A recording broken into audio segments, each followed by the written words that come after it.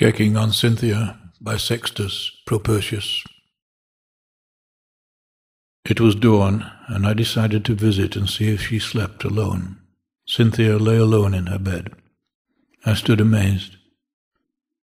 She never had seemed more lovely to me, not even when, dressed in a gown of deep sea blue, she went from here to tell her dreams to Vesta the Pure, fearing they boded harm for her or for me.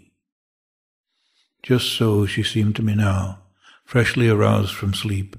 Ah, what intrinsic power has dazzling beauty!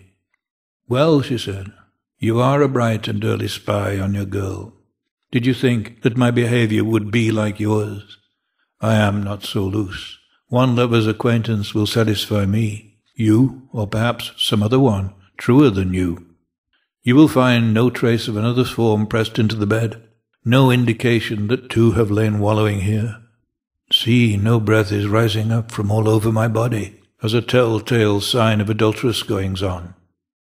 She spoke, and holding me off with her right hand, spurned my caresses, and leaping up sprang from the chamber on soft slippered feet.